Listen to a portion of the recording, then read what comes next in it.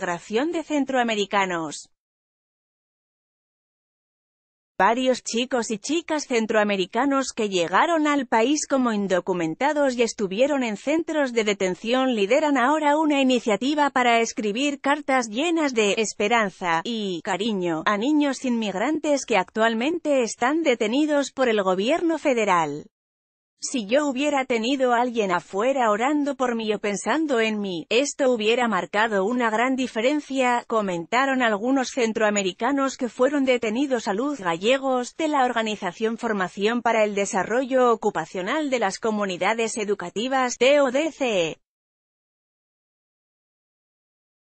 Según la directora de programas comunitarios de este grupo de Perris, California, la idea de redactar cartas a los niños separados de sus padres en la frontera surgió de ellos mismos, hace un mes cuando los medios se hicieron eco de los efectos de la política de tolerancia cero del gobierno con los indocumentados.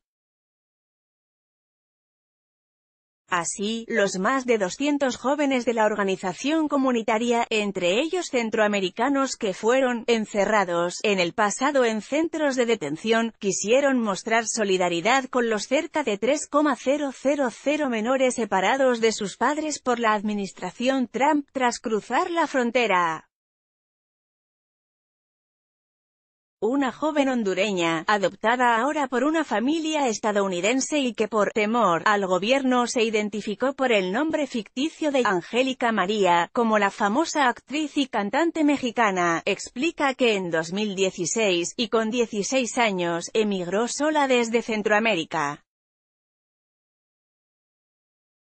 Al ingresar a Estados Unidos sin documentos fue recluida por las autoridades migratorias durante nueve meses junto a otros menores que emigraron sin tutela de sus padres en el albergue Casa Nueva Esperanza, Texas, en donde se sintió en total abandono. Trump quiere a más de 400,000 inmigrantes fuera de Estados Unidos 20 de julio de 2018 Estos fueron los productos más vendidos durante el Amazon Prime.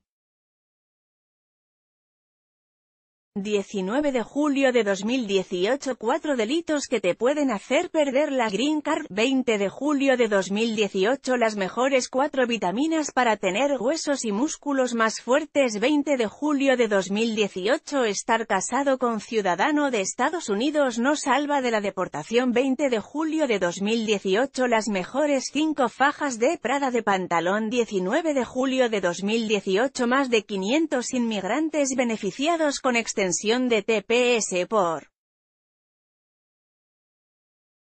20 de julio de 2018 pierde peso y mantente saludable con el té de menta 18 de julio de 2018 estudiante lanza fuertes insultos en marcha anti-ingrante y recibe lección. 20 de julio de 2018 Los 10 perfumes de hombre con hasta 40% de descuento hoy por el Prime Day 16 de julio de 2018 28 cubanos interceptados en el mar por la Guardia Costera. 21 de julio de 2018 Los mejores teléfonos celulares con los descuento más grandes hoy.